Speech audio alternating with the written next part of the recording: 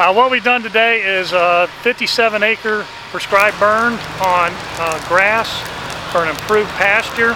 Uh, you can see here that we've done uh, the burn on a good day when it's nice and dry. The humidity was low enough for us that we did not get a lot of uh, humidity which would cause the fire and the uh, grass to cause a lot of smoke.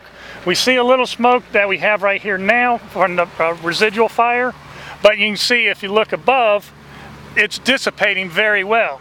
Right at the initial fire, we had smoke. So with the, the, weather, the parameters that we've had today, the low humidities, the low temperatures, good winds to get the smoke out of here, it was a perfect day to do a pasture burn process is we put in fire lines initially. So we have a block of uh, uh, woods, or in this case, a pasture, that this is all we're going to burn in this area. We use the bulldozers with the tractor, with the uh, plow units to put in the fire line, removing the fuels.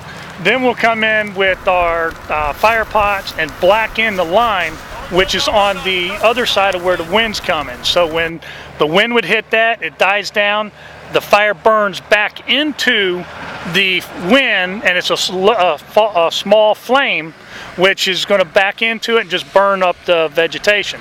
Then once that black line is uh, significant enough for us, usually 50, 75 feet, then we'll start bringing the fire on the other side with the wind carrying it, whether it be with a spot fire, whether it be stripping, putting more fire down, and which is going to burn towards the black line and uh, burn out all the vegetation.